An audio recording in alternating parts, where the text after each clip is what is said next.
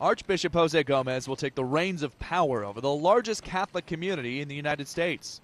Making it official, Cardinal Roger Mahony, the Archbishop of Los Angeles, introduced his successor in the cathedral sanctuary. And I pointed out that this is the largest Spanish speaking diocese in the United States. In fact, only Mexico City, Guadalajara, now Monterrey have more uh, Mexican people than Los Angeles. We're number four now. The Pope named the 58 year old Mexican American in part because of his background. For the fact that I'm a Latino who was born in Mexico, I think will be a, a, an, another incentive for Latinos or Hispanics to participate, continue participating actively in the life of the Catholic Church. And Gomez is an Archbishop of Opus Dei, the conservative movement favored by the Vatican.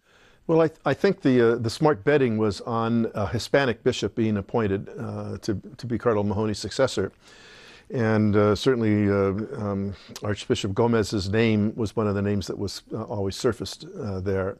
Catholic scholar Father Thomas Rausch says this is a sign Pope Benedict XVI recognizes that the focus of American Catholicism is shifting south and west. I, I, think it shows a real recognition of the growing Hispanic part of the church in the United States. Um, Hispanic Catholics constitute today over one third of all the Catholics in the United States. There's something about like 35% of all Catholics. Gomez will also have to oversee the fallout from the sex abuse scandal that arose during Mahony's tenure.